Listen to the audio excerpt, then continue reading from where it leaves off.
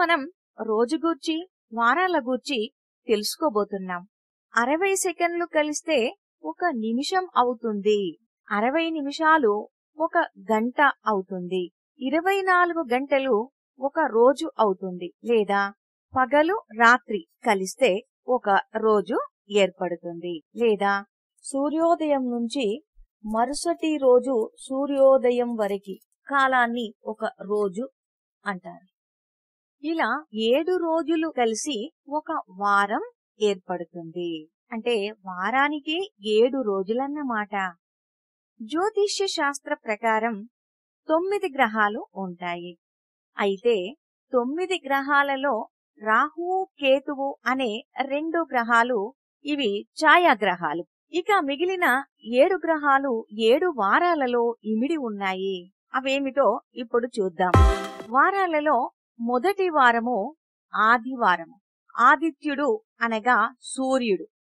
దీనికి రవివారమని భానువారమని కూడా పేర్లు కలవు. వారాలలో ఇది మొదటి వారము కూడాను. సోమవారము. సోముడు అనగా చంద్రుడు. చంద్రుడు కలలకు నిలయమైనటువంటి వాడు. చంద్రుణ్ణి ధరించిన వాడు శివుడు కనుక శివుడికి సోమశేఖరుడు అనే పేరు కూడా ఉన్నది. మంగళవారము. మంగళుడు అనగా కుజుడు. ఇది కుజగ్రహానికి సంబంధించిన వారం.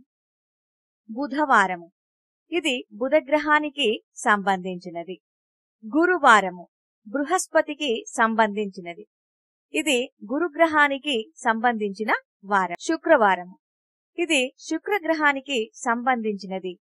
దీనికి లక్ష్మీవారమని కూడా పేరు కలదు. శనివారము ఇది శనిగ్రహానికి సంబంధించినది.